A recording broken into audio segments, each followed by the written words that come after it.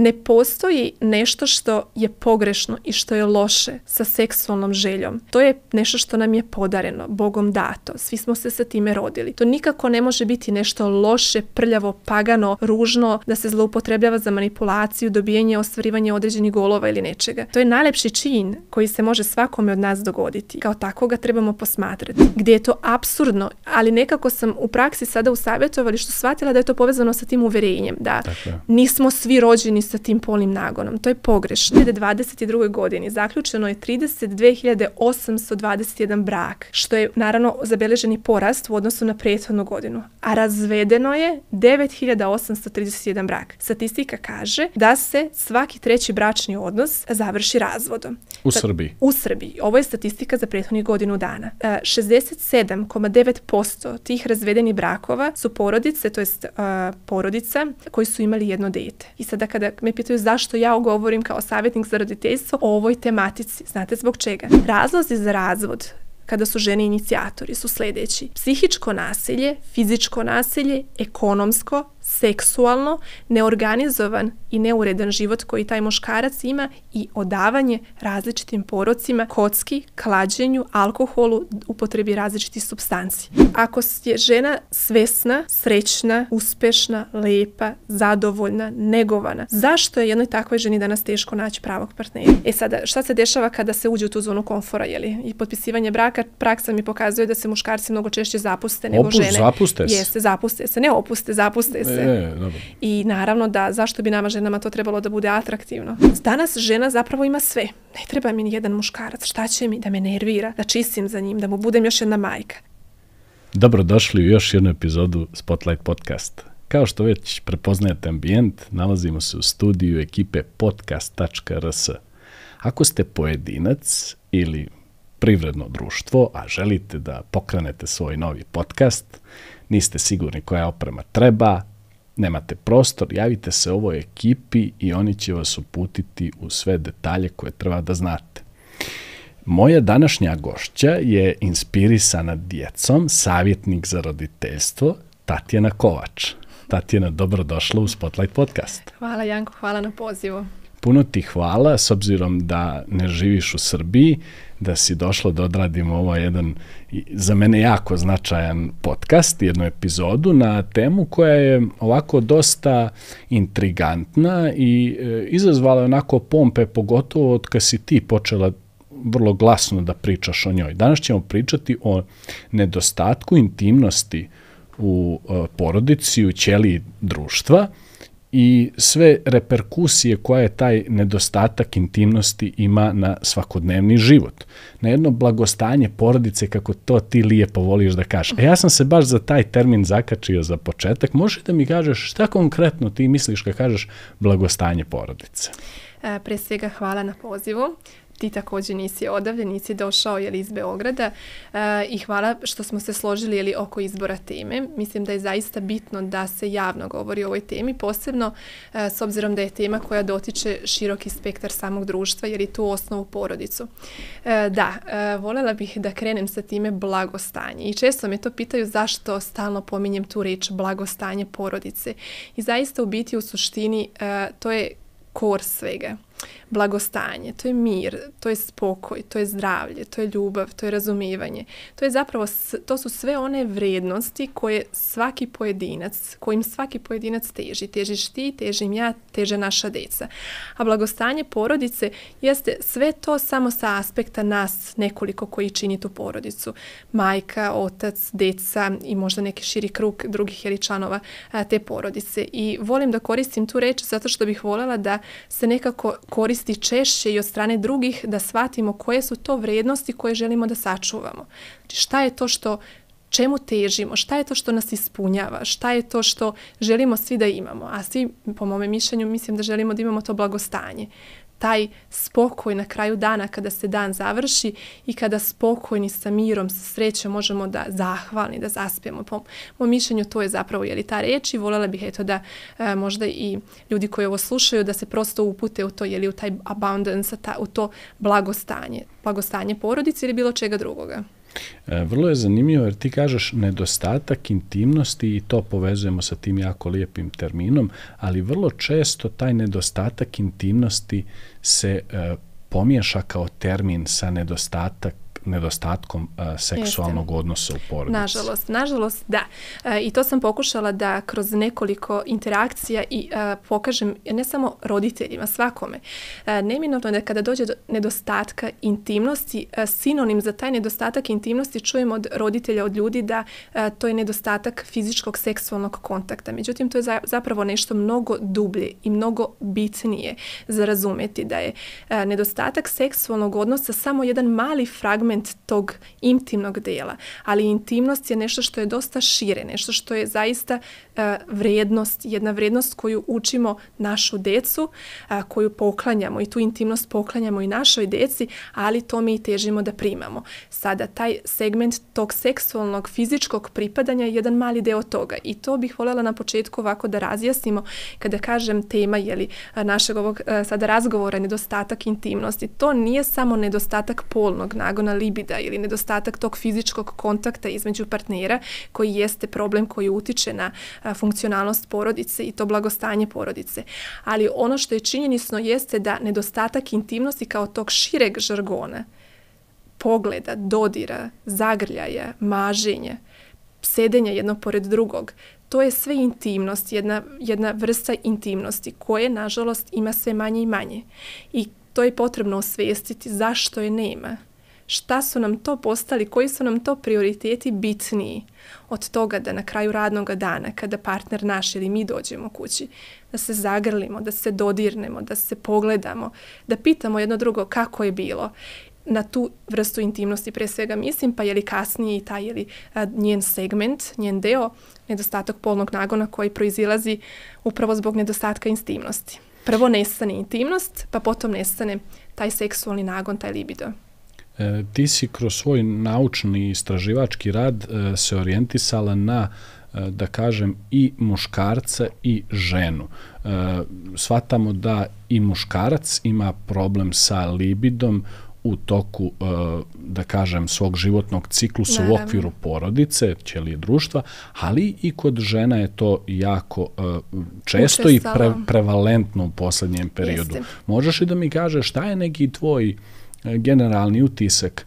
Da li, e, i o tome možemo ovako proširiti u toku ovog podcasta, da li muškarci imaju onako ozbiljni zadatak da pokrenu e, taj stereotip aseksualne žene, pogotovo nakon porođaja, ili žena ima problem sa muškarcem, koji su od, ta dva, od te dvije dinamike učestali, ja hmm. tako. E, pa, e, pravo pitanje e, i moram odmah da kažem, ne samo u porodičnim odnosima e, jer porodica je jedan segment ćelija kao što je nazivaš društva. Međutim, i partnerstvo i bez dece i partnerstvo bez tog formalnog e, bračnog zaključivanja jeste zajednica gdje također može da dođe da se javi ovaj problem. Tako da nije samo porodica, nije samo e, prisustvo jeli, tog bračnog e, formalnog oblika zajedništva. Uh, stereotipi, pa da, ima i puno. Uh, negde se uh, konstantno poslednjih jedno desetak, 15 godina uh, proklamuje kako su žene aseksualne, kako su rigidne, frigidne, kako su zbog ovoga i ovoga postale takve.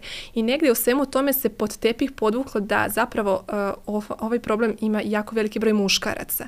Sad, da li je zbog društveno uslovljenih nekih uverenja koja su se formirala da muškarac o tome ne bi čak ni trebao da govori, jer je ako neko ima problem sa libidom i sa polnim nagonom, on nije ni pola muškarac. Da li je to jedan od razloga zašto se o tome tako malo govori, ali a, imam tu sreću i privilegiju da a, čak i očevi i muškarci koji dolaze kod mene u savjetovalište otvoreno govorimo o ovome, zato što mislim da je samo potrebno o tome pričati. To ne treba da bude sramota niti jednog muškarca da će biti manje muško, a ako se eventualno susretne sa ovim problemama, kasnije ćemo govoriti šta može biti uzrok, jer uzrok nije samo socijalne prirode ili može biti medicinske prirode, može biti biološke, može biti uslovljen sa različitim faktorima, ali neminovno je da o tome, kao što sada ja i ti razgovaramo, ti predstavljaš jednu društvenu grupu muškarce, ja predstavljam žene, o tome trebamo ovako sesti i razgovarati. Hajde da vidimo šta ako se i ti kao muško nađeš jeli, u tom ne, neobranom grožđu Jer svako kada se prvi put susretne sa tim nedostatkom, to je strašno. Zato što čini nam se da ostajemo bez jednog dela nas. Da nismo dovoljno dobri, da nismo enough. I tada problem se prenosi u neke druge sfere našeg života. Mislim da su možda nedostaci adekvatne komunikacije mm. i ne samo muško-ženske komunikacije, nego i muško među muškarcem, prijatelji će rijetko govoriti o ovom problemu. Praksa mi je pokazala da kada razgovaram sa recimo muškarcem, sa ocem koji mi se javi i pita šta vi mislite o ovome, Uh, shvatila sam da ni muškarci međusobno sa svojim prijateljima, kumovima, sa prijateljima sa kojima su odrasli, ne govore o ovome. Jer imaju osjećaj te niže vrednosti, ali ja onda nisam alfa, ja nisam, nedostaje mi taj maskulin energy, ali to je zapravo po, pogrešno. I šta je najgore u svemu ovome? To je takva problematika da kada se pojavi problem, problem može biti zaista banalan i može se riješiti uz adekvatnu terapiju, razgovor uh, i uz od, uh, primjenu određenih mehanizama. Međutim, ukoliko se ostavi da se ne ne vodi računa o tom problemu, posle izvesnog broja godina on može postati nerešiv problem. A ukoliko je nerešiv, nažalost, praksa pokazuje da mnogo teže pada muškarcima koji se potom odaju jako poročnim aktivnostima, problematici nego što će se žena koja je izgubila polni nagon odati nekom jeli, poročnom obliku i ponašanju. Tako da mislim da prvi stepen jeste ovo što mi sada radimo i verujem i zaista se nadam da ćemo postaći. Hajdemo da razgovaramo o tome. Hajdemo da ti si krivi izbacimo. Hajde da vidimo šta možemo da učinimo da se rešimo toga da to je, nije nerešiv problem. Čak ni onaj koji je izazvan medicinskom prirodom danas nije nerešiv. Ne, svakako. Da. Mislim da je to neka polazna osnova i mislim da trebamo sa tim stereotipima da, da ih možda ostavimo za neko jeli, vrijeme iza nas jer jer postoje, postoje rješenje, postoji odgovor na to. Samo ukoliko nismo svesni da problem postoji, ukoliko konstantno krivimo drugog za taj problem, ukoliko nam je stalno neko drugi odgovoran za taj nedostatak, e, nadamo se da kada ta osobu, tu osobu odstranimo iz našeg života i kada ta osoba ode, nadamo se da će i problem nestati. Međutim, e, osoba ode, ali problem ostane i onda se to prenosi na neku drugu osobu. Na, na neki drugi odnos. Na neki drugi odnos. Znači, ako primijetimo da postoji taj neki mrav u sobi koji ima tendenciju da praste u miša, ne smijemo ni da pomislimo da to bude onaj čuveni slon u sobi ispod kreveta ili, ili, ili ovaj ispod, ispod tepiha, nego da što prije krenemo u razgovor. Sa, u, u razgovor. Sa nekim. Neka to bude prijateljski razgovor sa kumom, sa prijateljicom, sa nekim, ali da ne ostane u nama. Jer je to ono što praksa pokazuje, da ljudi o tome ne govore, da se o tome čuti. A to čutanje, nažalost, vodi da uveličavanju tog problema, je li od miša napravimo slona. Tako da, jeste, odgovor složila bi se sa time, moramo razgovarati ja sam u pripremi za ovu emisiju i tebe upoznao da sam onako tražio neku literaturu, ti si me uputila na stručniju, ja sam nešto otišao na moderniju i tu se pojavila knjiga koja je doživjela dvije edicije i ogroman uspjeh do 2020. godine u pitanju je e, Dead Bedroom Fix ili e, popravka e, efekta, da kaže, mrtve sobe, odnosno nema, bračne nema sobe, bračne da. sobe. E, u pitanju je čovjek koji je osnivač sajta deadstartingover.com koga interesuje neka pogleda. I tu imamo jedan aspekt gdje on počinje sa tom knjigom malte ne ako ti se pojavi drugarica ili djevojka koja ti kaže da je njen e, libido e, mnogostruko veći od muževljevog ili e, mo, njenog momka, tu je otprilike stvar jasna i samo će krenuti malo, a ti mi reci da li se slažeš Ajde, ili ne. I on kaže ovako, pošto znamo ono što kaže uh, medicina, da je da je muški uh, testosteron do 10 puta veći nego kod, kod žene. Uh, i kaže, e, koncentriši se da izgledaš mlađe i ljepše, kaže, je li taj savjetnik Dobre. fiktivni ženi, Dobre. jer svi negdje znamo jeste da zvuči plitko i glupo, ali znamo negdje koje su to dirke na tom klaviru prosječnog muškarca koje treba da upreš. To je jedan fiks, ako to ne radi, nemoj da budeš control freak. Daj mu malo dajmo malo na, nekog, na neki način slobode da i, pa makar i fiktivno ima utisak da o nečemu odlučuje. To Govorimo će, dalje o muškarcu. O muškarcu, sa, sa aspekta mm -hmm. muškarca. To on kaže na početku knjige, evo vam na jednoj stranici šta žena treba da uradi, a napisao sam čitavu knjigu šta muškarac treba da uradi. Vrlo zanimljivo. Dobro. I kaže, treća stvar, ako to uh, uh, ne radimo, ako ta dva ne rade, kaže, uh, ako poseže za nekom stimulacijom kao što su filmovi za odrasle, zašto je to tabu? Pridružimo se, podgledajte ponekad, neka to bude vaša, da kažemo, neka tamna strana, vaša neka slatka navika za koju niko ne zna bez vas dvoje. E, bukvalno do četvrte, ako dođeš i ništa od ovoga ne radi, odvedi ga na terapiju i najčešće se terapijom rešavaju problemi. Kaže da je ta terapija, testosterone uh, replacement therapy, uh, spasila brak od ovo konkretno problema u velikom broju slučajeva. E, reci mi na ovo moj malo širi i duži uvod, izvini zbog toga. Ne, ne, u redu je. Reci mi neko tvoje mišljenje. E, specifično e, nisam imala prilike da pročitam knjigu, sigurno ću je pročitati. E, složit ću se sa tom konstatacijom da Pa hajde ovako, e, pomenuo si testosteron. E, mislim da treba malo i o tome govoriti, zato što negde vlada uverenje kod žena da je to muški hormon i da je to e, e, neko opravdanje žena imaš tu imaš previše muškog testosterona i zato ti je samo to konstantno, to ti je konstantno u glavi. I to je negde e, problem žene, ali i muškarca koji razmišlja na isti način. E, da razjasnim taj deo. Testosteron je reproduktivni hormon, adrogeni hormon koji proizvode i žene. Naši jajnici proizvode hormon. To je seksualni hormon koji i mi žene imamo, samo se luče na jelim, različitim razinama nego kod muškaraca. Tako da te osude, samo ti je to u glavi i sada moram samo da napravim jednu paralelu sa time što si rekao, e, da žene imaju pogrešno razumijevanje i shvatanje samog tog seksualnog nagona, seks, uh, libide. To je jako važno da jeste, distinkcije. Jeste, jako je bitno. Svi ga imamo. Ne postoji uh, nekoga, dobro, naravno muškarci, upravo zbog te fizionomije i proizvodnje testosterona koja je dosta veća i razine e, testosterona su mnogo više kod muškaraca, ali postoje brojne žene koje imaju također visoke e, nivoje testosterona, samim tim i veću seksualnu želju nego pojedine druge žene. Ali svi ga imamo i seksualni nagon je nešto što svi imamo. Ne postoji neko ko, nemo, ko se rodio bez toga. Postoji navike koje su dovole da se to izgubi i da vam nestane ta vaša potreba za pripadanjem i za samim jeli, fizičkim kontaktom i a, e, samim seksualnim činom, to postoji, to je problem današnji se. Svaka skoro treća a, e, bračna postelja je a, e, prazna. Roditelji spavaju u odvojenim sobama, o tome ćemo malo kasnije, Naravno. kako dođe do tog nedostatka intimnosti. Apropo toga što si izneo, zanimljiv, zanimljivo svatanje, da, slažem se u pogledu toga da mora da postoji neki kompromis. E, pre svega shvatanje.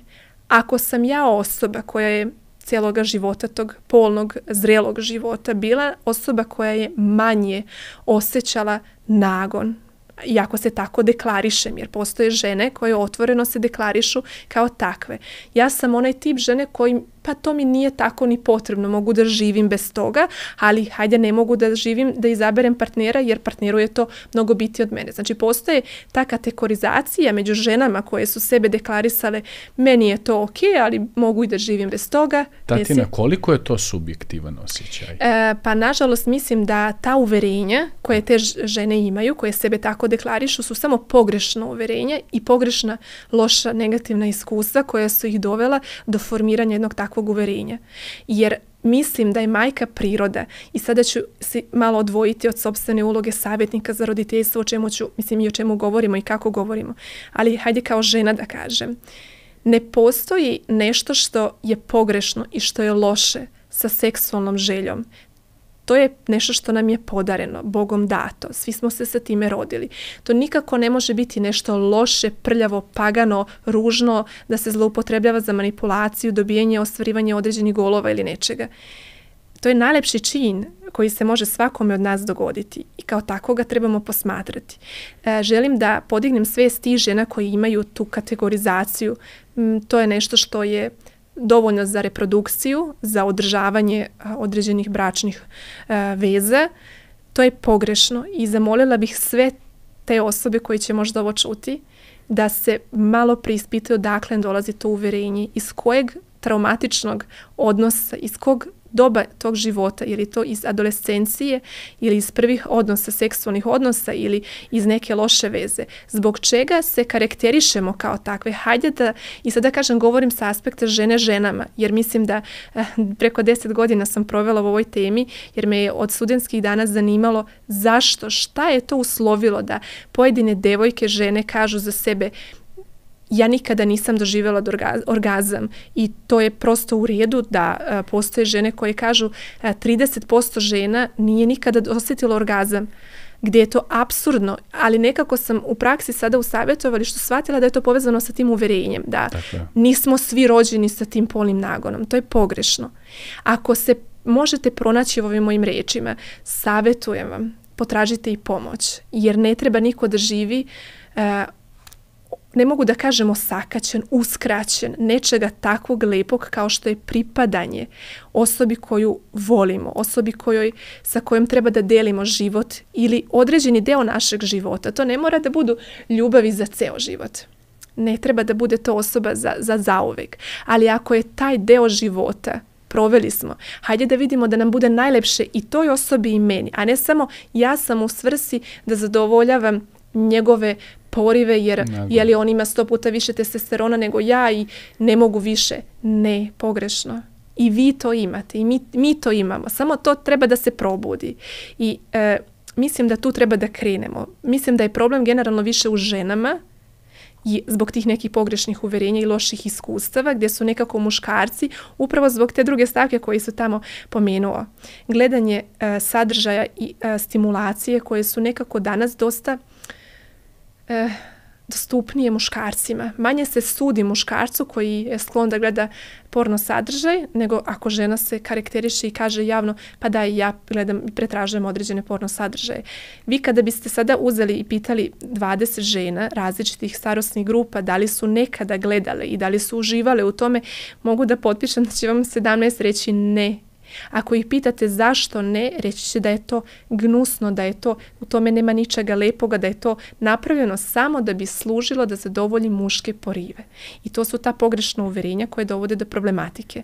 Slažem se sa tom konstatacijom da trebamo biti open-minded, da trebamo da imamo širinu razmišljanja, zato što je to nešto što može biti korisno i za jedan pol, za muški pol, ali i za nas žene, posebno majke. Imaš li utisak možda da su stereotipi kroz dugi niz godina jedni od ključnih krivaca zbog čega mi imamo situaciju da je to neki tabu?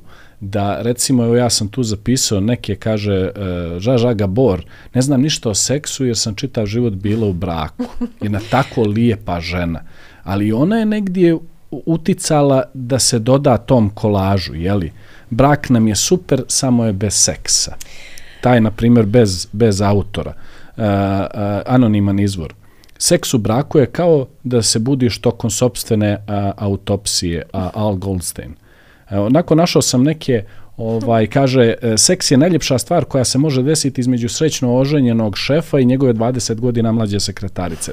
To su sve neke stvari koje dodaju tom kolažu, ali to što ti kažeš uh, stereotip e, napaljeni muškarac, aseksualna žena, pogotovo nakon porođaja, koliko je samo primjera da su žene možda bile uspavane, jer su upoznale partnera koji ih kroz dugi niz godina nije stimulisao i da ona nakon što, potpuno je normalna žena u pitanju, nakon što je upoznala neko ko je uspio da je svira te dirke, ona e, napušta posao, odlazi u neku drugu krajnost, e, i počinje da po prvi put živi taj seksualni život na način na koji on zaista treba da bude. Imamo takvih primjera. Naravno, mislim, posebno kažem u savjetovalištu gdje to često čujem gdje se nešto moralo završiti i prekinuti kako bi neko počeo da živi. I te, tužno je razmišljanje i kao što se sam rekao, stereotipi, tradicija. E, seksualni odnosi su tabu i dan danas. Iako sam ja neko ko o tome zaista dugi nizu nazad govori i pre savjetovališta sam se trudila da osvestim bitnost da se o ovoj temi mora razgovarati jer se ona odražava na sve sfere našeg života. Nema ne samo na roditeljstvo, nego sferu našeg poslovnog uspeha. frustri, frustracija. Nešto što se najbolje leči upravo sa intimnošću.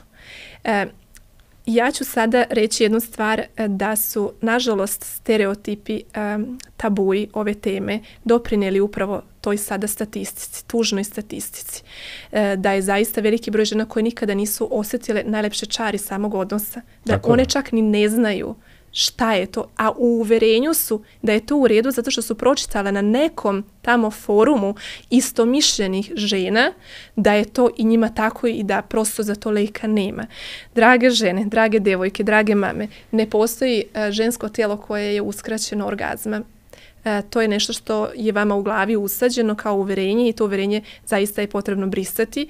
E, kao što je muškarcima potrebno brisati uverenje iz glave da su žene aseksualne. Nisu žene aseksualne. Postoje uverenja koje vladaju, nažalost. Uverenje moramo da menjamo. Nisu sve, čak ni one žene koje su 15 godina živele u bračnoj zajednici i nažalost, kao što si sada rekao, imale iskustvo da niko nikada nije uspeo da otvori to nešto Tako lepo je. u njima i da su se nakon tog odnosa osjetile da oh my god, pa tamo postoji nešto mnogo više od toga i probude se i shvate i kažu zašto mi je trebalo 15 godina da, da pronađem to nešto. Zato ja i ti sada o tome razgovaramo. Da, evo, može se o tome lijepo razgovarati.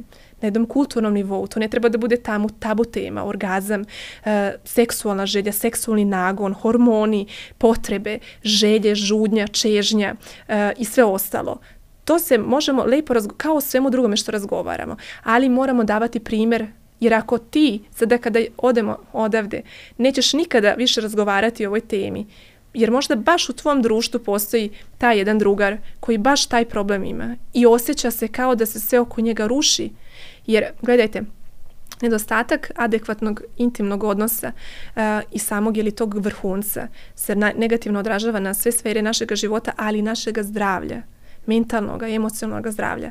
Ne postoje ljudi koji za sebe mogu da kažu da su iz, uh, da žive u blagostanju, a da nisu nikada osjetili čari jednog pripadanja, pravog pripadanja osobi. I to je tu, tu treba da krene promena.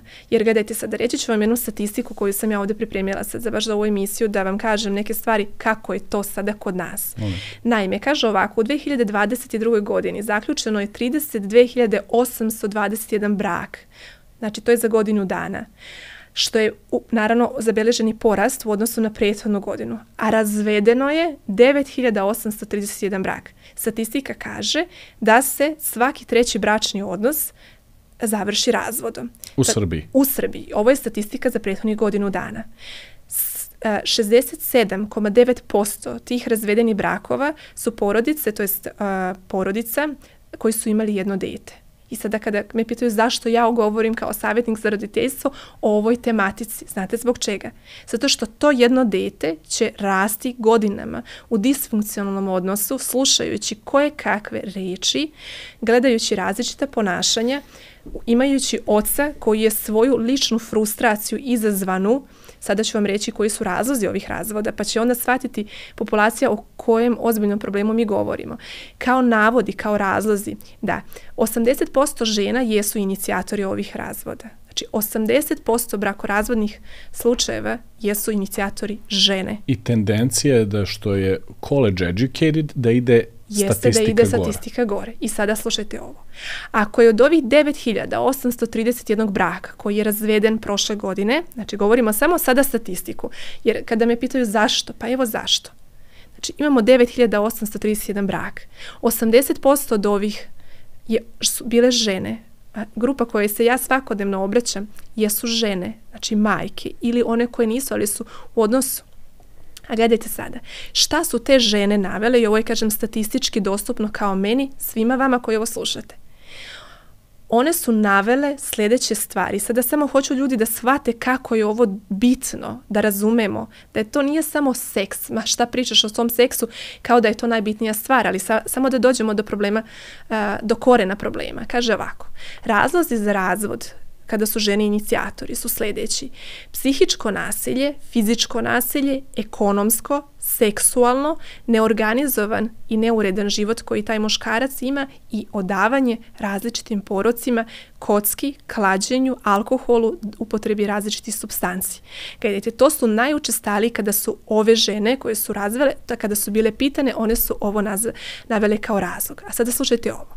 Kao glavna razlozi, kada su muškarci bili inicijatori razvoda, postoje samo tri stvari. Sada slušajte kojim one redosledom idu. Emocionalno zahlađenje, potom e, nova, e, nova partnerka, znači nova ženska osoba u životu i kao treća stvar nevjerstvo supruge. Šta sada vi iz ovoga možete da, da pročitate i da uočite? Ono što sam ja godinama sada i zašto se me zanima ova tematika i ne mogu da ne govorim e, o roditeljstvu i ako govorim već o roditeljstvu, o blagostanju porodice, ako govorim o deci, ja sam majka troje dece, ako govorim o mojoj deci, nije samo dati, postaviti hranu na sto, imati krov nad, što bi rekli, nad glavom i da su to naše osnovne obaveze kao roditelja, a sve ostalo pa kako dođe, dođe. Ne, učimo ih mnogo više. I gledajte sada, kaže, psihičko nasilje je broj jedan razlog psihičko nasilje. Kada pitam majke i često kroz ankete pitam i kroz grupe i kroz uh, različite istraživanja, kada pitam žene, hajde mi molim vas šta za vas predstavlja psihičko nasilje. Definišite mi. Definišite mi šta je po vama, jer generalno definicija nečega zapravo onako kako jeste i ono što ljudi govore su skoro dve različite stvari. Šta je to psihičko nasilje po vas? Omalovažavanje onoga ko ja jesam, konstantno spuštanje e, mene na nivoje gdje nisam, e, potom to seksualno neuvažavanje, ekonomsko, ekonomsko u smislu da e, sam ovisna, zavisna i tako dalje i tako dalje. Čemu sada ovo vodi? Vodi tome da su muškarci morali da postanu kontributori. Oni moraju da obezbede sve. Na njima je ogroman pressing. Pritisak. Pritisak. To je ova dinamika provider, tako, lover, o čemu stalno tako pričam. Izvini što te... Da, provider, upravo to. Tražim riječ da, da prevedem e, sa jednom. Ipak, čisto za housekeeping da kažem da si ti neko ko živi u Mađarskoj i da većinu svoje edukacije uh, radiš na, engleskom, jeziku, da čisto ne ispane sad ovdje tako da... Tako je, tako je. Mislim, moj maternji jezik je sada zadnje 12 godina engleski, jer ja imam 34 godine, 12 godina govorim engleski i da če, teško mi je ponekad pronaći adekvatnu zamenu za određenu reč i bojim se uvijek da mi neko to ne uzme za zlo. Meni već uzimaju i zato sam prebacio na sebe. Ova, ja sam crnogorac koji stalno koristi anglicizme i zato me ono što se kaže peru po po Facebooku i po društvenim mrežama. E, Ljudi će naći nešto uvijek. Čas sam, čak sam smislio, imam, kaže, e, e, imam e, bizaran moment, bizaran, šta znači bizaran, borim se za riječ, ono, bukvalno stane mi kako se to sad kod nas kaže, da ne bih naprosto brinuo šta, kako se šta kaže, ja izgovorim onako kako je nama prirodno i to je prirodno Jeste. i našim slušalcima, nego sam te prekinuo. Jeste provider. E, ne mogu da se ne zauzmem i za muškarci. E, ovdje sam da zaista e, iznesem onako kako jeste iz prakse. Ja mogu o ovoj temi samo govoriti iz praktičnog dijela i iz istraživačkog, ne mogu stručnog kao što pozivam kolege koje e, znaju mnogo više od mene na ovu temu da izađu i da govore javno jer nam svima treba te edukacije. Mogu samo govoriti ono što vidim u praksi i što prosto moj istraživački rad meni daje uh, jeli, na, na, na, na znanje.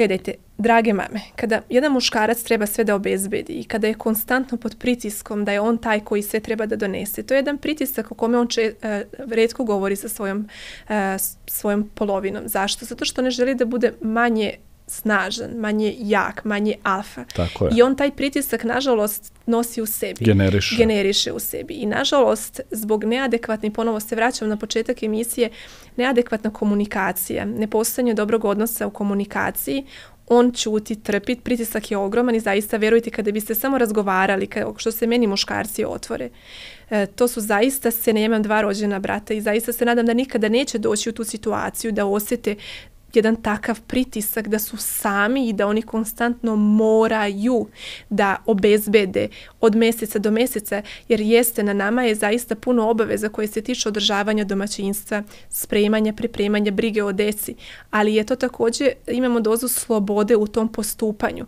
jer ne postoji neka, da kažemo, ograničenje e, datog momenta da se ovako mora ili onako, ali sa druge strane kada uzmemo primjer muškarca, on mora da obezbedi određene financije, on mora da obezbedi putovanje na more, na zimovanje, on mora da obezbedi tu hranu, on mora, e to moranje se nažalost negativno odražava na ovu intimnost. Tako je. I sa druge strane, šta se dešava? Puca.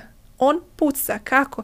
Nažalost, upravo tako što se jer žena osjeća da je psihički, nažalost, vređe. Sada, e, mogla bi da idem puno u tematiku, jeli, e, i zašto muškarci manje o tome pričaju i, i po... Ići ćemo. E, malo tu si me inspirisala da te prekinem jer ti sad tu pokrivaš jedan značajan tradicionalni aspekt gdje imamo čovjeka, muškarca, provajdera i ženu housewife, je li tako? E sad tu negdje imamo promjenu dinamike da je ta Suzy housewife Uh, ono što se kaže nije potpuno nestala, ali je na, na, na aparatima. Uh, mi imamo jednu promjenu dinamike muško-ženskih odnosa gdje su žene danas te koje dobijaju najviše Chevening stipendija, koje dobije najviše Fulbright stipendija. Žene su danas te koje su u prosjeku obrazovanije od svojih partnera. Žene Jeste. su danas te u tom middle uh, to uppers uh, uh, uh, dijelu uh, srednjeg ka većem, uh, višem sloju društva koje u prosjeku zarađuju više od svojih partnera. E šta sad imamo, kako na sve to što si ti objasnila i promijenjene uloge, mi e, se sve to odražava na ono što živimo danas u nedostatku intimnosti. Zbog čega? Žena je shvatila da je free woman, da je slobodna žena. Najzad. da. Znaš, taj, ja volim da kažem da je taj kofer uvijek spakovan. I, I, znaš, volim da se zapitam koliko je dobro što je spakovan. Znaš, uh. e, e, znaš e, često, često Petersona ovaj e, e, kritikuju, a, ali on kaže nemojte, nemojte da probate život. Nema probanja života. Ako smo, ako smo riješili da je to, to, to je brak zajednice i odmah kreće. Odmah smo tim i krećemo da se borimo protiv svijeta. Znaš, nema probanja, nema spakovano kofera tako lako. Ja bih, E, zašto ti ovo sve, zašto te ovo sve pitam? Žena je shvatila da je u toj poziciji u kojoj je, ali to ženi nikako nije donijelo sreću. Ona je samo postala neko ko je shvatio šta znači besmislena trka pacova. Ona je postala slobodna žena, ima više opcija, ali to što ima više opcija, samo znaš. Odeš da kupiš cipele, tamo gdje ti pokažu 20 prelijepih modela, nećeš izaći, izaći ćeš e, nasjekirana i nisi sigurna si napravila dobar izbor, tamo gdje su tri dobra modela, kupit ćeš jedan i izaćeš srećna. E, teška tema. E, Janko, teška zato što e, da i ne, e, morala bih da e, Da, nažalost, tradicija koja je nas je uslovila nas, kažem, kao žene, dovela je do toga da težimo toj samostalnosti e, zbog toga što mislim da generacije koje dolaze su se nagledale svačega i svačega mislim u porodici. Ja sam također odrasla u jednoj takvoj porodici gdje sam ceo život želela da ne budem onako kao moja majka i težila sam obrazovanju jer obrazovanje i ta samostalnost, ekonomska samostalnost daje ženi mogućnost izbora. Kada imate mogućnost izbora možete birati. Sa druge strane dovela je do toga da su žene otišle na drugu krajnost, da su misle i smatranja suverenja da je to dovoljno. Nije dovoljno. Mi smo svi rođeni da budemo u zajednici, da delimo, da nas je dvoje. E, postavlja se pitanje kako se muškarci u svemu tome osjećaju. Zašto je njima toliko teško prihvatiti takve žene? Jer e, ako je žena svesna, srećna, uspešna, lepa, zadovoljna, negovana, zašto je jednoj takvoj ženi danas teško naći pravog partnera? Evo ja ih imam oko sebe sigurno 7-8 zašto su danas žene same? I također pitam i muškarca, ali nekako malo je slobodnih muškaraca. Ne znam jeste, jeste primetio tu tendenciju. Ne, ne, ja sam se slažem s tobom, ali ovo statistiku koju si iznijela je tačna. Tako I ona je, je cross-border statistika. Jeste, Amerika kaže 70% inicijatora brakorazvodnih parnica su žene, 80% ako je college educated. Znači, to upućuje na zaključak, ti mi ispravi ako ja griješim, da je žena u okvirima monogamne veze braka danas kakav jeste tradicionalno nezadovoljna. Ali nezadovoljna je, znaš čime, Janko? Nezadovoljna je time što žena ima težnju. Muškarac je izgubi u prvih par godina tog bračnog života.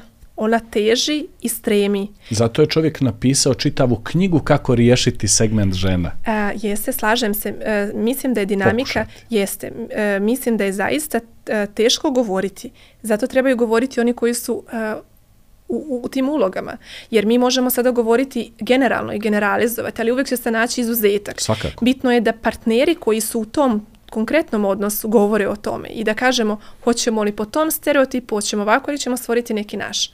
Jer možemo se, ja se mogu složiti sa tobom, ali mogu također i opovrgnuti sa nekim drugim primjerom. Sigurno, sigurno. Mislim da je da, tužno je, zaista je tužno, ali također e, mislim da je potrebno da ostavimo te stereotipe, posebno kada su ove stvari u pitanju.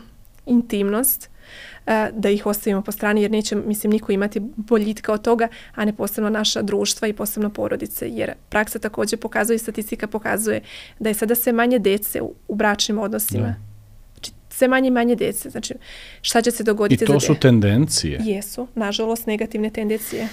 E, da li brak može da opstane danas samo na bazi fizičke i emocionalne, upravo si rekla ključnu riječ, intimnosti i podrške, a bez novca, u smislu ne bez novca nemamo ti i ja novca, nego ti imaš svoj novac, ja imam svoj. Vidi, moram da ti kažem, često bude, i to ima malo veze sa demografijom, sa, sa uh, geografskom širinom i dužinom, sa sistemom vrijednosti. Šta je normalnost u mojoj kući ne mora neophodno da bude u tvojoj. Ne znači da je moja normalnost prava normalnost, a tek tvoja da je kriva. Jeste. Znaš, e, kad pričamo muško-žensko tim, ja odmah pomislim zarađujemo zajedno ili jedan novčanik ili su dva Slažem novčanika. Se. Mislim da ne može da bude dva novčanika. Ako težimo blagostanju. Puno ti hvala, nije sam očekivao ovaj e, odgovor od tebe, da, iskreno. E, ovako, ja, Puno ti hvala. ja sam mnogo... Zagovaraš moju teoriju. E, ovako, e, ja e, ne mogu se deklarisati ovakvom ili onakom ženom, niti puno verujem u tipografiju. Ne volim, ne volim to, ja sam taj tip, ja sam taj horoskopski znak. Mislim da je to davno trebalo, ba, trebalo je bar biti prevaziđena tema. Kategorije, da. Kategorije, da. Ne mogu da kažem ja sam moderna žena tradicionalnog svatanja, ali ako bih trebala nekako da se deklarišem, to bi bilo to. Mislim da žena svaka žena danas treba da teži sobstvenoj samostalnosti, bez, bez toga nema ničega. Ali vjerujem u tradicionalne porodične prave vrednosti. Ja sam odgojena na takvim vrednostima, učena sam tobu i mislim da nam se nekako i Biblija tome naučila da ako e, ta dva novčanika kao što ih, e, kao što ih pominješ, e, da, danas je učestala praksa mnogih domaćinstava. Posebno onih domaćinstava gdje žena dolazi iz higher level of education, što je tužno jer treba da postoji nešto što je zajedničko, ali ako postojimo i ako startujemo odmah sa odvojenim nečim, kako težimo da gradimo neki temelj za našu buduću porodicu, za djecu, šta ćemo učiti tu djecu. E, mislim da to nekako mora da se iskristališe u prvom tom periodu zabavljanja, dok ne dođe do tog nekog momenta gdje se ulazi u nešto ozbiljno. E da, također jedna tema koju je Srđan, e, tvoj pređašnji gost, ne znam da li je govorio ovdje, ali ja sam bila na promociji njegove knjige i tamo je pomenuo i zaista e, delim njegovo mišljenje da današnje generacije su zaboravile na taj neki leveling u e, ljubavnim odnosima. Danas se upoznamo, zavolimo se i sutra živimo zajedno. Ne postoji apsolutno više nijedna druga faza, nema udvaranja da li su se muškarci zaboravili udvarati, danas su počele žene da se udvaraju, ali bar udvaranja ima. E, gdje je nestalo to udvaranje? Gdje je nestao taj moment, hajde da se zavodimo, hajde da ne pripadamo odma, iako sam neko ko je zagovornik uh, učestali seksualnih odnosa, jer na njima počiva zdravlje, fizičko, emocionalno, društveno, svakako zdravlje i zagovornik sam da uh, partneri, posebno oni koji su u bračnim odnosima, treba da neguju učestale a, intimne odnose, ali ne smatram da je to nešto što bi trebalo da bude upoznamo se i sutra to uradimo, jer šta, kakve onda vrednosti mogu sutra da zagovaram ako sam jednu temelj izgradio na takav način i da se odmah ogradim. Ne mora da znači da je to neminovno loše ako se dogodi, ali ako vam je to praksa, ako konstantno to radite, zašto onda očekujete neku vrednost da dobijete sutra ako ste vi sebi takvu vrednost na početku odredili? Ako su vaše vrednosti tako niske, zašto sutra od tog istog partnera očekujete da vas visoko ceni? Ako vi na početku krenete sa tim low, uh, uh, malim ulaganjima. Tu je, to je savrem, to je ono što se ja također sarađujem i sa adolescentima, majka sam dvoje adolescenata, poznata mi je kako to danas zapravo funkcioniše. Nema udvaranja, nema sviđanja, nema osvajanja. Svi ti koraci su jako bitni kako bi se nešto kvalitetno moglo izgraditi. Sa obe strane. Ne, mislim, ne govorim neminovno samo muško mora da se. Nema ni sa ženine strane. Gdje je nestala ta feminim ženska energija? Hajde, samostalne smo, ekonomski smo slobodne, obrazovane smo. Ali zašto po, uh, po cenu da izgubimo tu ženstvenost? Gdje Ka... ode ta ženstvenost sa tom samostalnošću? I, Kao da je, reci izvoli. Imaš, izvini, molim te, je forma. Imaš utisak da je negdje Instagram kultura oduzela tu uh, odloženu gratifikaciju. Tome sam pričao mm. malo sa Divnom Milovanović. Sve je na klik i odmah imaš neki Dostupno, utisak. Dostupno, instant je sve. I, i, I dostupan je e, ne samo nije dostupan sadržaj, dostupna je gratifikacija. Znaš, ja sam, ob, ja sam obukla tu haljinu, već imam like. Mm. Znaš, čak i taj like kad ona kaže ja mojoj drugarici dajem like iako je automatizovan, možda nisam ni dobro vidjela, možda samo vidimo kome se radi. Znači, moj, auto, moj like je automatizovan, znači nema značenje, ali kad dobijem ista takav automatizovan like, on meni znači. Hmm. Osjećaš i e, dihotomiju? Da, e, društvene mreže koliko imaju e, svetih i pozitivnih strana, toliko imaju negativnih koji se nažalost odražavaju upravo na te odnose i formiranje odnosa. Sve je instant, upravo kao sve je dostupno. Nema više onog da se pitam šta je tamo negde. Nema više, što kažeš, i te devojke, današnje mlade devojke. Ja sam majka 22-godišnje čerke. I kada posmatram tu novu generaciju i to razmišljanje i kako one razmišljaju, tužno je vidjeti koje su sada vrednosti koje te devojčice neguju. A po, ko je odgovoran za to? Mi kao roditelji, mi ih formiramo. Znači, moja lična uverenja, moje vrednosti će se preneti na nju ili se neće preneti na nju. Ili će se prenoti taj instant moment. I sa strane muškaraca, zar ne? Jer vidim tamo zgodna je, lepa je, ovakva je, dostupna je, pa dobro, onda i u realnosti mora da bude tako dostupna pogrešno je, e, vodi nekoj negativnoj tendenciji, ali pok možda smo malo sada i otišli sa teme, Jesmo jer mi smo otvorili bismo da neku drugu Jesmo. temu koja je posebno ponovo tema teška za sebe. Da se, e, da se vratimo na temu, jer i tog samog nedostatka intimnosti ili ti e, tog polnog nagona. Ja sad imam pitanje za tebe kao muškarca. Šta ti misliš, s obzirom da postoji taj stereotip, da su žene aseksualne, posebno one nakon što stupe u brak. Koje je tvoje viđenje muškarca kao muškarca? Zašto su žene aseksualne? Jesu takve bile pa su se pretvarale da bi ušle u brak ili su takve postale u tom braku ili možda ni one same nisu znale? Koje je viđenje tebe? Jer nemam drugih muškaraca da pitam. Vidi, ja da ti kažem, rekao sam ti da sam se malo edukovao kroz ovu knjigu. I želim malo afirmativno da pričam o samom autoru, jer on negdje na neki način ni u jednom momentu nije rekao da je to neko devijantno ponašanje žene. Koje je aseksualnost? Ja i tu, izvini, tu mu ja dajem veliki štrik. Znači, on je naveo more primjera gdje je žena bila ne znam, e, CFO McKenna, sve je bilo utegnuto, troje djece, brak pod konac, sve, odjednom je upoznala nekog rajdera, ovih, kako se zove, e, Harley Davidsona, istetovirala se, napuštila djecu i otišla da živi taj neki život koji se sviđa. Čak ima i takvih primjera i on nikad ne kaže neke od tih žena, jer i on sad već ima industriju svoju i jeli, ima Jeste. feedback, ima povratnu informaciju, kaže ima mnogo primjera, za svaku pojedinačnu mogu da kažem da je pitanju normalna osoba koja je samo u jednom momentu doživjela svoju potpunu spoznaju. E sad, da li ja negdje da li mi se možda ne sviđa, sigurno mi se ne sviđa da se ne javlja Čini mi se da ste sada malo diplomata. Mene zanima ne, ne, ne, tvoje o... mišljenje sa našeg balkanskog podneblja, jer moramo govoriti o našem podneblju. Ne možemo govoriti o statistici engleske, nemačke, zapada, istoka. Meni je nego... bitnije, evo malo ću napraviti ako mi dozvoljavaš, meni je bitnije da mi ti kao stručnjak kažeš št, št, kad uvedemo prvo dijete. Dobro tu imamo definitivno nešto što niko ne pre, prenebregava, to je e, vakum u intimnom odnosu. E, da. A da ne pričam drugo i treće. E, dobro, to je, e, da, malo se o tome govori. Ja bih voljela da kažem da polni nagon kao libido, e, kao potreba za pripadanjem nestane nakon što deca dođu. I to je uslovljeno upravo hormonima. I priroda se za to postala, postarala. Sa kog aspekta? Kada se majka porodi, telo prosto radi na jednom, da kažem, drugom stanju. Prolaktin i oksitocin koji su hormoni zaduženi za proizvodnju mleka kako bi naše dete preživelo i opstalo, se postarala da drugi hormoni prosto dođu na neke niske nivoje kao što su androgeni hormoni, reproduktivni hormoni testosteron i estrogen koji su pak zaduženi za seksualni drive, za seksualnu želju. Šta se događa? Jedni su ovde, drugi su ovde. Šta muškarac snima? A nema razumijevanja da će se to a sa vremenom, sa kroz nekoliko meseci, između 8 i 12 meseci, vratiti na nove nivoje. Šta se pak događa? Ponovo se vraćam i konstantno ću se vraćati na nedostatak adekvatne komunikacije, jer da postoji komunikacija, gledajte, govorimo o periodu od 6 do 12 meseci, da se jedan jedno tijelo vrati. To je ciklus. Ta, to je jedan ciklus koji mora da se dogodi. Naravno, kod nekih žena je on e, blaži, kod velikog broja žena, nažalost, je tako da prosto nestane tog polnog e, poriva. Žena se osjeća aseksualno. Osjeća se da je majka, osjeća se da pripada i da treba i da mora da zadovolji sada neke druge osnovne uloge.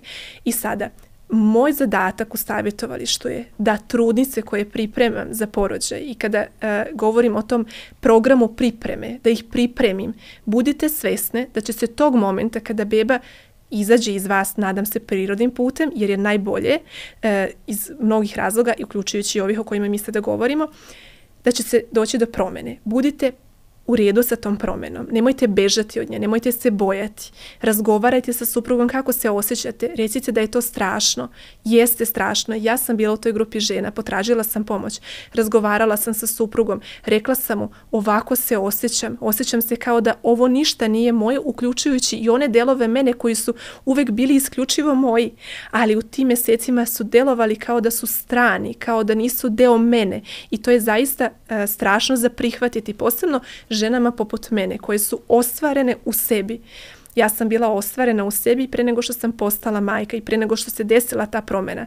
Ali jako je također veliki broj žena koje se ne ostvare u sebi, nesigurne uđu u samu tu ulogu, desi se to i znate šta se desi, to ostane ostane kao zato, neko permanentno stanje. Kao permanentno stanje gde ja sada mogu da razgovaram sa ženama koje, čija su deca 7-9 godina.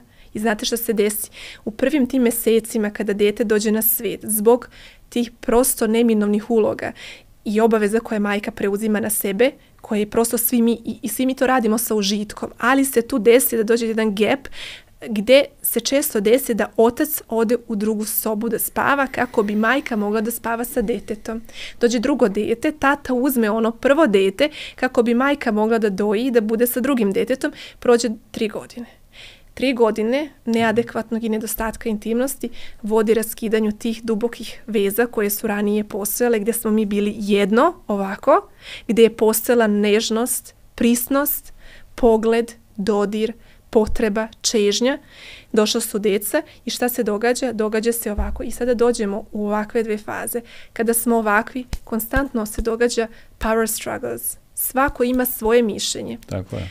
Ja kao muškarac imam to i to, e, često žene i sada zaista je tužno, ali e, se trudimo svestiti i zato savjetovali što radi na taj način da osvestim da to moramo da budemo svesni. Mi kao majke, nažalost, vodimo tome da nije naša, kako da kažemo, da me ne pogrešno ne svate, ja sam uh, odgojila decu, znam kako je biti majka, ali znam da ne, koju cenu ne želim da platim. Toj deci je potreban otac. Toj djeci je potrebna ljubav između nas dvoje. Ne može da postoji da otac spava pet godina u svojoj sobi i da vi očekujete da će posle pete krenuti sve da bude kako je bilo.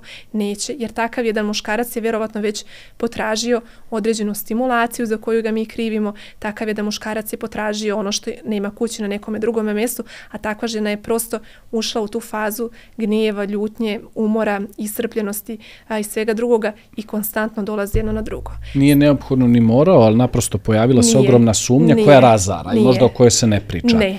Izvini, molim te što te prekidam, jako mi je interesantno to što govoriš i želim da ispotenciram dvije stvari. Znači, ako već kažemo da je problem tu tu gdje jeste i sad pokušavamo muškarca da napravimo nekim ko tu treba kao muškarac da iznese tu situaciju i da to bude sretna porodica. Prve dvije stvari koje se kažu je kad se ljudi uzmu odmah, kad se potpišu, kreće jedna faza komfora. I komfor je, da kažemo, prva, prvi, prva prepreka e, seksualnog nagona. E, znači, gdje god imamo komfor, protivnik je seksualnog Jeste. nagona. S druge strane, majčinski instinkt je protivnik seksualnog nagona. Kad je majka u tom majčinskom modu, majka je u majčinskom modu. Znači, ovo što si rekla, Jeste. treba da prođe određeni ciklus. E, autor, opet na se na njega vraćam, e, upravo to kaže.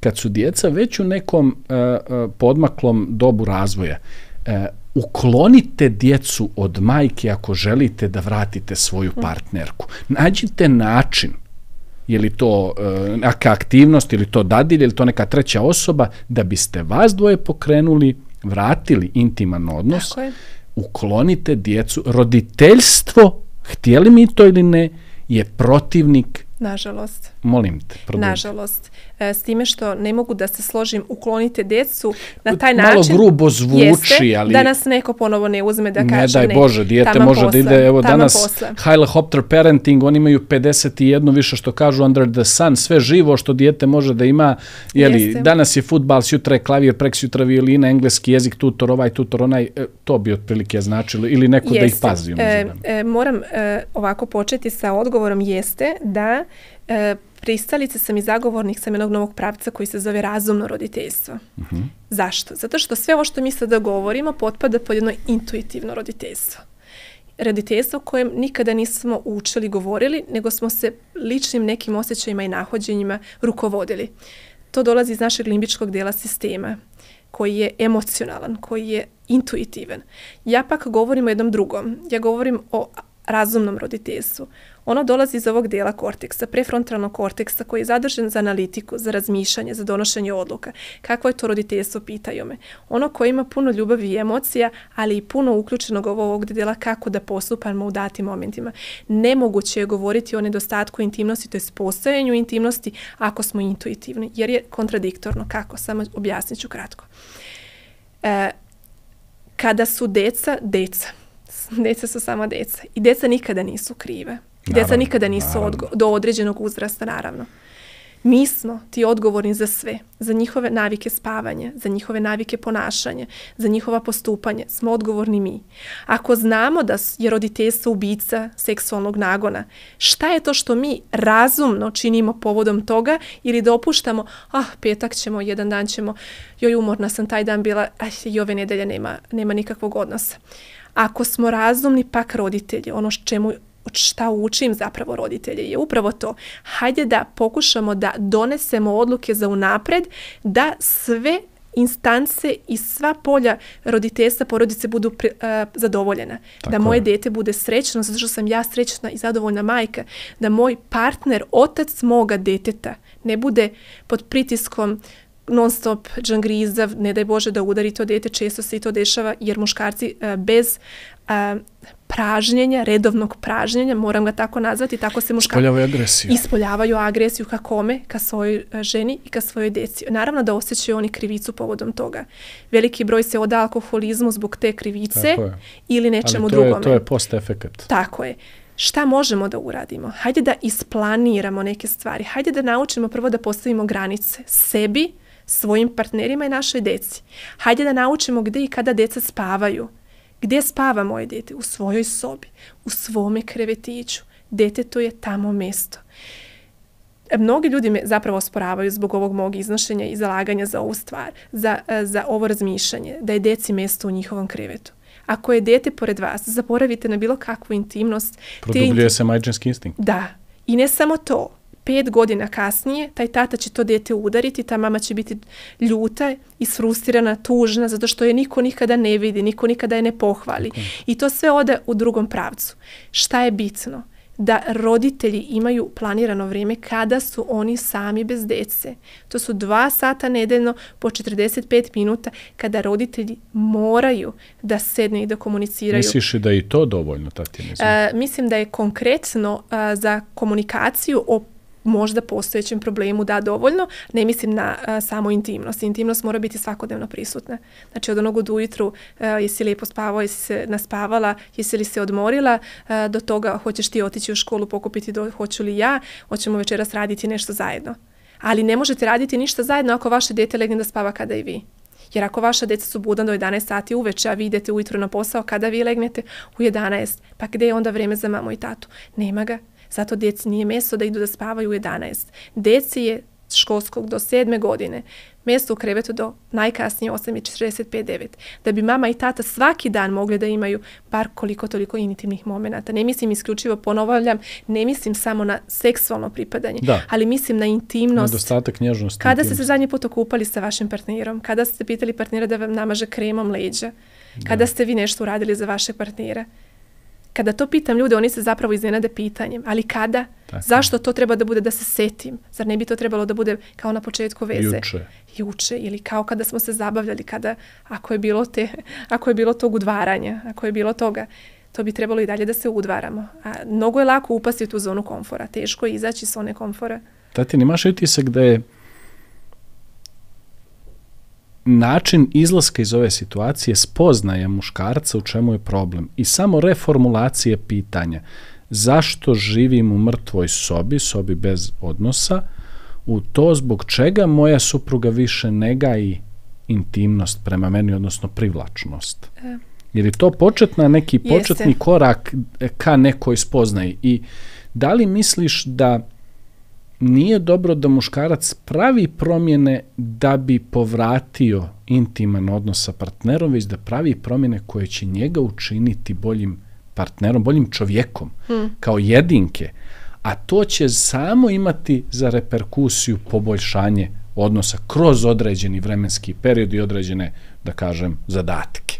E, fantastično pitanje, zaista. E, što kažu, nije uvijek u odgovoru. Nekada je, se puno može naučiti iz pitanja, upravo ovog pitanja. Jer mislim da je problem danas više sa muškarcima. Žene imaju problem. Znači, postoji taj nedostatak polnog nagona koji jeste fizičke prirode i koji jeste problem. Naravno, trebamo naći uzrok. Možda je zdravstvene prirode, možda je medicinske prirode. Veliki broj žena ni ne znaju da imaju poteškoće sa jajnicima, sa štitnom žlezom, e, sa evo, poremećaje u istrani. Su jedan od razloga zašto žene imaju nedostatak polnog nagona, a ni ne znaju da je možda upravo problem u tome. Tako da žena ima problem, ali muškarac može da bude e, rešenje tog problema. Kako? Upravo tako, postavljajući pravo pitanje. Zašto moja supruga više nema tu, pripad, tu želju da pripada meni? Da li moja supruga možda želi da pripada nekome drugome? Da li ona možda mašta o nekom drugom muškarcu dok je sa mnom? Zašto? Zato što ona se, žene su nažalost danas nosioci mnogo toga, društva, To smo rekli, Da. da, svakako. jer majka nije samo majka, majka je sve i još jedina gora tendencija, majke postaju majke i supružnicima i to ubija tu, e, tu čežnju, tu želju. Jer mi ne treba da budemo, imam jedan fantastičan e, komentar koji sam dobila ju, juče nakon jučerašnjeg lajva od jedne m- žene, fantastičan osvrt. Žene su danas, ne samo što smo postale majke deci, smo posle izvesnog vremena postale i majke našim partnerima. To je ubilo celu romantiku, čežnju, želju i sve ostalo. E to ne treba da radimo. Jer našem muškarcu ne treba majka. Mi kao žene, kao majke, ne treba da vaspitavamo naše sinove da im trebaju sutra majke, nego kao muškarce koji će sutra biti partneri, očevi koji treba da budu, to je na nama zadatak sada sa našim sinovima, ja ih imam dvojicu i to ih učim, šta je pravi muškarac. E sada, kako muškarac može to da reši, e, mislim da muškarac treba zapravo da pita svoju, svog partnera, šta je to što ja mogu da učinim. Ne ko je krivac, ne šta je, Tako je. šta je to što ja mogu da učinim da ovo bude bolje. Ako može da bude bolje. Ponekad je rješenje da prihvatimo da neće biti bolje i da se tu dođe do tog razlaza. Jer je to ponekad najbolje za cijelo porodicu, za to blagostanje. Jer ne trebamo ni neminovno držati se nečega što je davno već završeno. Zašto imaš utisak, ako sam ja shvatio iz ovoga što si rekla, da taj krhki, lomljivi muški ego često stoji kao kamen spoticanja kvalitativnoj promjeni u braku. Zato što mislim da muškarci su danas odrasli, kada kažem danas mislim na a, grupu muškaraca u periodu između 25. i 45. godine, oni prosto nisu odrasli i kada, ako bismo se sad vratili e, nazad u to vrijeme kada su majke te odgajale muškarce sa 35-40, lako je naći razlog i odgovor zašto je to tako. Ali e, mislim da nije samo ego, nego neznanje kako. Jer hajde, ego neka bude polazna, ali ponekad možemo i progutati taj ego. Ali ne znamo kako. E, to je to. E, nekako se stvar komplikuje. E. U ovom vremenu u kome živimo, shvatili smo da je uloga žene značajno iskomplikovana svim promjenama na bolje, koje su donijele i neku neizvjesnost, da sad ona osjeća da je problem, ali ne može da ga definiše. I imamo muškarca koji je onako tu, ja volim da kažem muškarac sam, sa nekim blečkastim momentom i treba mu usmjerenja, a ne zna ni odakle da krene. I tu e, sam ovu knjigu popet e, našao jako zanimljivim, e, neke njegove e, načine kako on to e, daje neke impute kroz duži vremenski period promjeni e, jeli, sobstvenoj kvalitativnoj promjeni na bolje koja će neminovno u nekom određenom momentu rezultirati poboljšanjem odnosa ili on što ti kažeš naprosto će otići u, u suprotnim smjerovima. E, da li negdje misliš da je, ajde da, sad je opet malo površno, ali taj prvi komentar za muškarca, jer znamo negdje, ne, ne kažu džabe uh, dead bod, dead mm. body, Znači, već znamo da tata ima stomak. Mm. Da li je prva uh, zahtjev kreni u teretanu, kreni da se fizički vratiš ono što si nekad bio, uh, naprosto... Pitali bismo mame. Ja mislim da bi mogli da pitamo uh, 70.000 mama na mome profilu. Šta misliš e... da bi njihova reakcija bila? Mislim, shvatam da negdje društvo ne, podstiče tu vrstu površnosti, ali kad i zaista negdje pitaš, znaš, ako žena kaže ja volim e, da mi je muž onako e, neki e, ne tako dobro građen ili da ima neke svoje neke druge kvalitete, to je opet odgovor koji će više biti prihvaćen od strane društva. Može biti, mislim, e, zavisi od koje generacije govorimo e, koji je to uzraz generacije. Mislim da se sada to negde kristališe, to očekivanje tih sada e, novih dolazećih devojaka, budućih, žen, e, budućih mama, da je to nekako must have. Je li, zato što sa tim obrazovanjem, sa tom samostalnošću, sa tim uh, I'm enough for myself, je dovoljno da se očekuje da taj muškarac i treba da, da bude takav kao i ona. E sada, šta se dešava kada se uđe u tu zonu komfora, jeli? I potpisivanje braka, praksa mi pokazuje da se muškarci mnogo češće zapuste nego Opust, žene. zapuste se. Jeste, zapuste se. Ne opuste, zapuste se. E, dobro. I naravno da, zašto bi nama ženama to trebalo da bude atraktivno? Zašto bi meni, ako se ja trudim... Pa to mi reci, da, znači dobar da, je savjet. Dobar je savjet. Kreni, kvalitativna promjena je kreni u teretanu, jeste, kreni sa treningom. Jeste, jeste, jer ako se od nas žena toliko očekuje da budemo sve, a kada kažem sve zaista, mislim, znaju majke, pored toga što smo majke, mi smo zaista puno toga drugoga. Da ne govorimo nama ženama koje smo i preduzetnice, balansirati između preduzetništva, koje je 24-7, nema tu idem 8 sati na posao. 24-7 očekuje se naravno da vodimo računa o sebi, o tome kako izgledamo. Ali ako se to od mene očekuje, zašto manje očekujemo od tog istog muškarca? Zato što ti dobro zarađuješ i zato što ti, pro, ti si provider, pa dobro nema veze ako imaš 15 kg viška, ako danas Svi nisi... Svi znamo kako se to ipak na kraju završi. Pa, kad imamo sugar daddy i, i... Jeste, sa stereotipima, nažalost, lošim stereotipima i razmišljanjima tako, ali e, muškarac treba sebe da zapita da li je zapravo samo taj ta aseksualnost koja se pojavila kod moje partnerke dovela do toga da ja dođem u fazu ili nešto drugo. Jer mi svi nagađamo da su žene prvo postale aseksualne e, nakon što su se porodili, nakon što su postale majke, pa su kao rezultat toga se desi ta situacija, ali negde nije to baš uvek tako. Da, da, jasno da. mi je, pogotovo to da tvoje istraživanje pokazuje jeste, da, da, jeste. da postoji muškarci koji su negdje u ranoj fazi ili nekoj srednjoj fazi jeste. već pokazali taj... Onog momenta kada je osvoje, tada da. kreće ta zona komfora. E, komfor opet protivnik, Jeste. glavni pa, protivnik. E, često me jako ljudi pitaju, ja sam e, privatno e, pristalica jednog trenda. E, davno sam ga zapravo usvojila e, čitajući knjige Robina Šarme, tada sam imala 21 godinu. Izazov, izazovi sebe, pobedi sebe. Smatram da najbolji način napretka i izlaska iz zone komfora jeste kada se forsiramo da fizički redovno izlazimo iz zone komfora tako što zadamo sebi određeni cilj. E, često me pitaju, pošto u toku godine izazovem sebe fizički na određene poduhvate koje nikada ranije nisam uradila i zašto sam tako ekstremno zašto tome težim? Ipak sam ja srećno udata žena, majka, ostvarena poslovno, privatno. Šta mi to fali kada se tako jeli, e, sebe evo, Podvrgavaš. podvrgavam. Hvala Janko. Ništa. To je to. I ja stanem, to je, to, to je taj, borim se za riječ, e, bizarni Jeste, efekt. Jeste. E, podvrgavam takvim izazovima. Znate zbog čega? Zato što sam ja samo ništa drugo, nego kao i sve druge, žena. I bojim se upadanja u zonu komfora. Jer te zone komfora, koliko su dobre, mogu biti i loše. Ne želim da svoj brak, svoju porodicu osudim na lagodnost. Zašto da ne? So Tako what? je. E, zato sam ja sebi sa 20 godina obećala da to neću da činim. Tako I zato sebe fizički izazivam na konstantne fizičke napore koje nisam u mogućnosti da ostvarim. I ne zbog fizičkog rezultata, nego učenja našeg nervnog sistema na taj stepping out of, eh, iz naše zone komfora. Izlaska iz zone komfora. Tako je, jer nas on čeliči i uči nas da ne zaboravimo. Da ne zaboravim kada dođem kući da zagrlim svoga supruga i pitam ga kakav je bio tvoj dan. Bez obzira što sam ja taj dan možda 50 puta radila više od njega. Možda bez obzira što on te nedelje imao godišnji odmor. Evo primjera radi, moj suprug je imao godišnji odmor. Ja još uvijek nisam. Bez obzira što sam i kuvala i peglala i sklanjala i radila.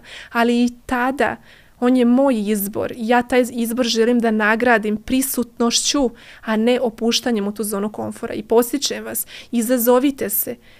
Izazovite sebe na nešto što nikada niste uradili. Evo ja sam ove godine četiri puta i još tri me puta čekuju do kraja godine. Ne zato što nemam šta da radim sa svojim vremenom, nego što ne želim da dođem u ovu zonu ovde. Ovo je opasna zona. Nemojte misliti samo porodicu. Za sve. Onda gubite i ovo što vam je ovde. Tako je. Emocije vam se menjaju.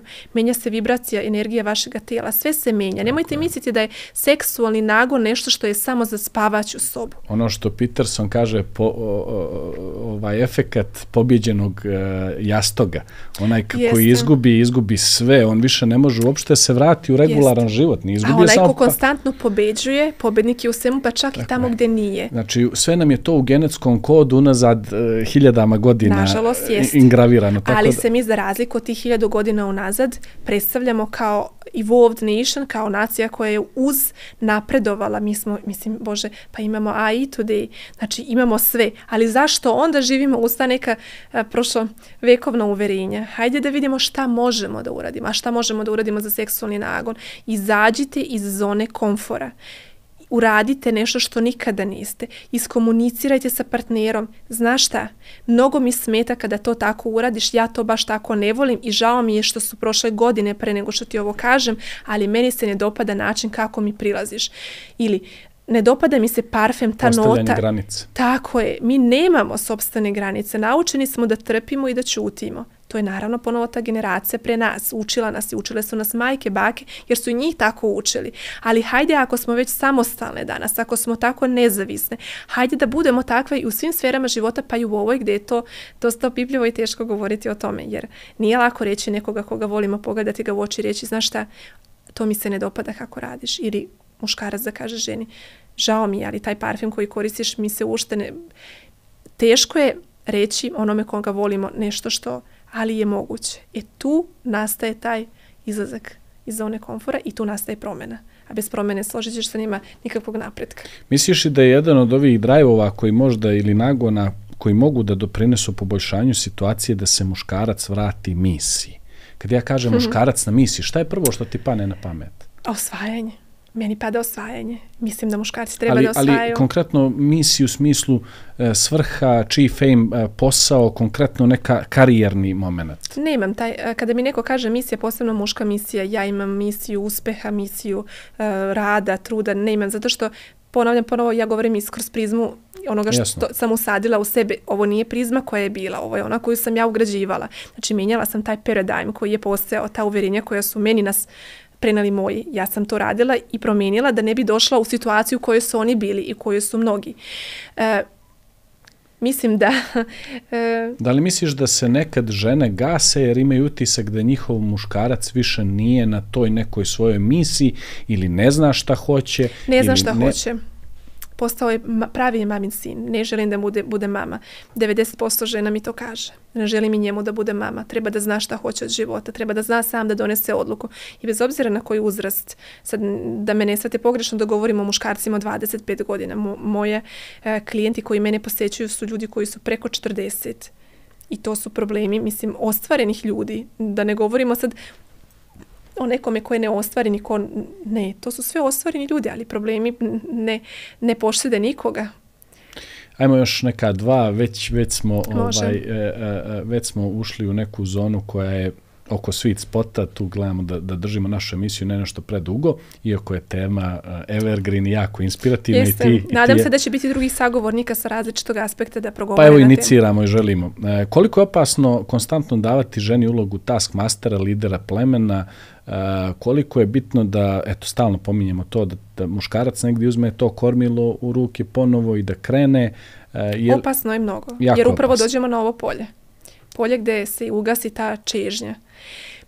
E, kada razgovaram sa e, muškarcima, kada mi se muškarac obrati zbog neke problematike u porodici, kada tražimo uzrok, jer vjerujem da je rad e, da je kvalitetan rad se zasniva uvek na traženju uzroka, ne lečenju posljedice. Nekako uvek dođemo do ovog polja. Zato mi je jako bitna tema.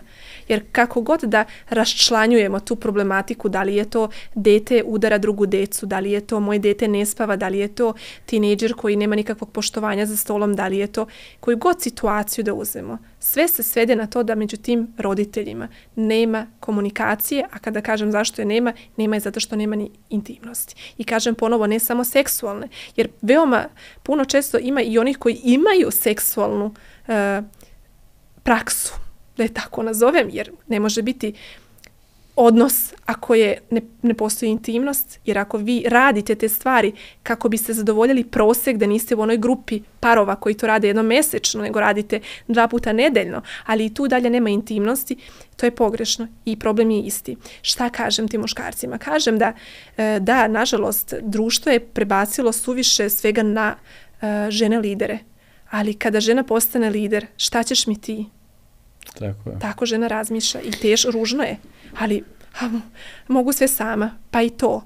Znači, postojemo, postoje toliko igračaka napravljeni. Šta mislite, zašto industrija? Evo nešto što ne ulazi u sklop ovoga i možda će biti ljudima čudno da čuju, ali ja sam sad upravo bila u Poljskoj, polasjetila sina tamo.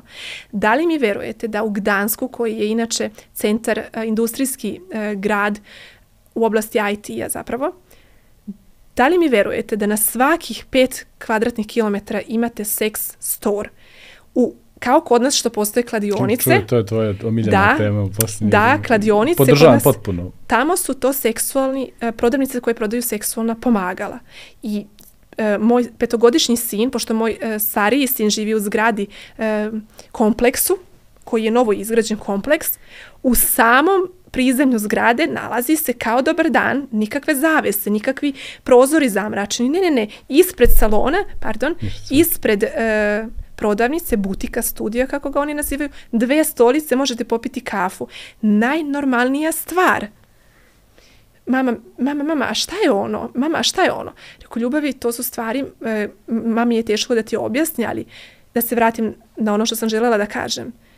Da li ste videli u Srbiji neki uh, radnju gdje se prodaju ovakve stvari? Evo, ja sam u Srbiji, ne znam, u Novom Sadu sam znala nekada da je postojala u pasažu Zmajovinoj, ali nisam da. sigurna. Zašto mi to nemamo? Zašto smo zatvorili takva mesta? Zašto su takva mesta tabu? Zašto uh, se toga...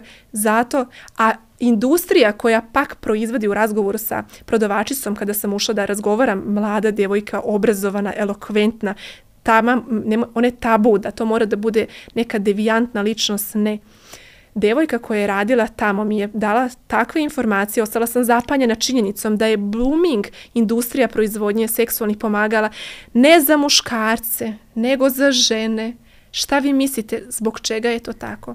Žene imaju potrebu, ali muškarac, jer ako je žena lider, ako je ona se da postala taj self-enough provider, šta ćeš mi ti? Nikako teško nije na Amazonu naručiti pomagala i kriti ih od svog supruga.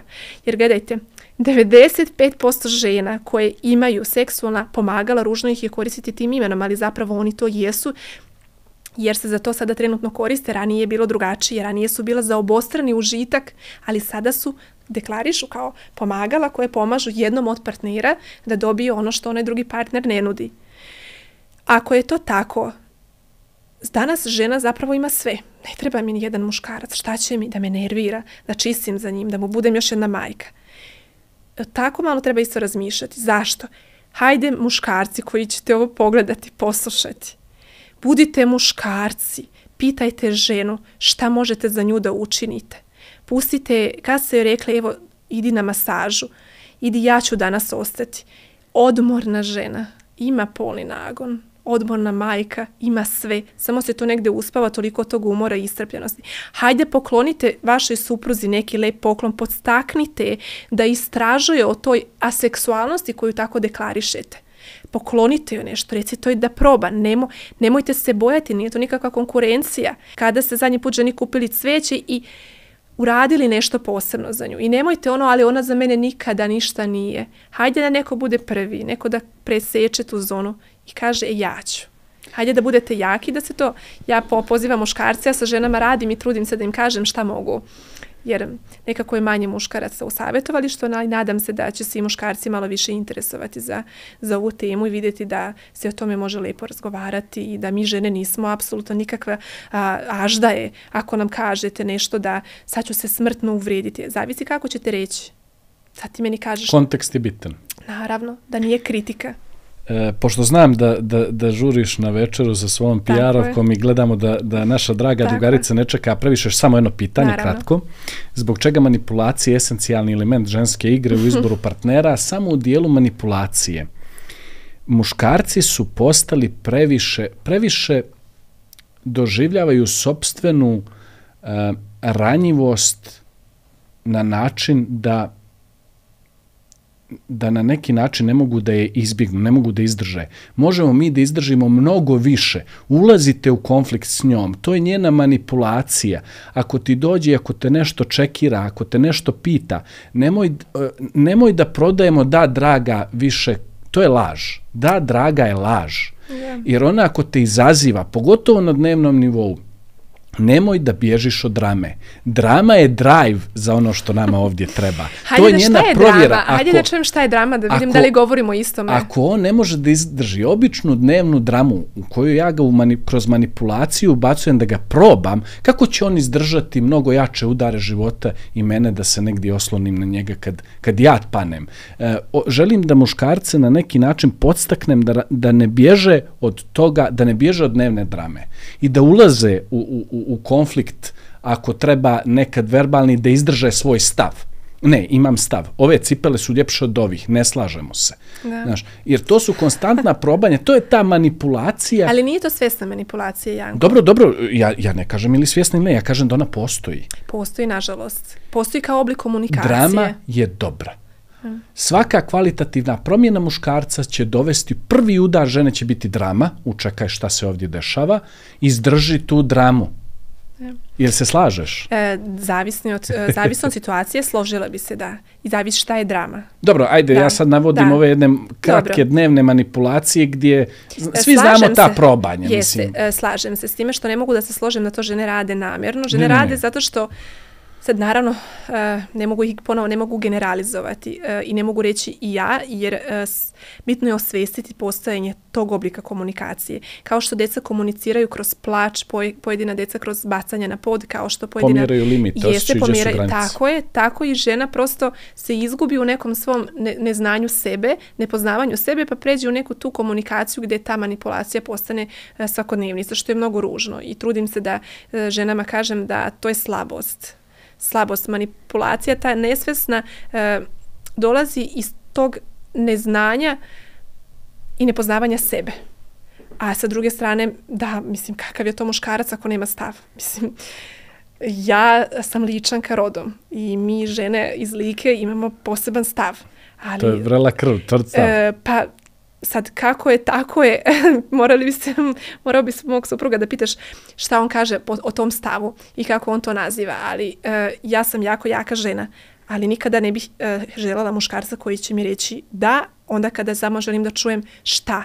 Znači ne trebaš mi da mi budeš potvrda, ne trebaš da mi kažeš nešto što ću da se osjećam dobro. A nijedna žena to ne želi, verujte. Ne žele žene da joj kažete nisi srećo, nisi se ugojila. Ne recite da jeste. Tako Budite je. joj prijatelj budite joj podrška, budite iskrena osoba i da uz malo drame. Jer kada kažete ženi da se jeste malo ugojila, naravno da će slediti drama, to je zbog toga što ti nikad nisi kući, što ja sve moram, što nikad nemam vremena za... Ali ste iskreni, to ćete i dobiti kad budete tražili to. I mislim da zahtjeva malo, malo um, snage od muškarca da, da malo drame nije na, nije na štetu ničega, posebno ne je o ovoj temi, tako da... Tatjana, puno ti hvala na Hvala ovom tebi. gostovanju. Znam, imala si e, jako naporan period, sinoć je bio live koji je ostao do kasno zbog velikog interesovanja, danas je bila blaga migrena, pobjedila si sve. Drago mi je iskreno, posebno za migrenu. Zaista, e, ljudi koji imaju migrenu znaju. E, želela sam da dođem baš zbog toga što si ti došao iz Crne Gore. Ja sam došla iz Budimpešte za temu za koju mislim da e, volela bi da je svi poslušaju i da otvore tu Pandorinu kutiju. Aha, ima, ima tamo nečega, hajde da vidim čega. Zamisli koliko bi to sada 9800 brakova u godini dana možda bilo sačuvano kada bi se o ovome govorilo. I 8 puta 9, 72, 7200 nezadovoljnih žena koje su pokrenule brakorazvod. Jeste, jeste, pa ja sam sigurna da će žene poslušati, ja ću ih na to naterati da poslušaju i da vide da rešenja ima, ne moramo da krivimo nikoga za problem, nego hajde da nađemo to rešenje. Tatjana, puno ti hvala, Hvala hvala tebi, Janko, na pozivu.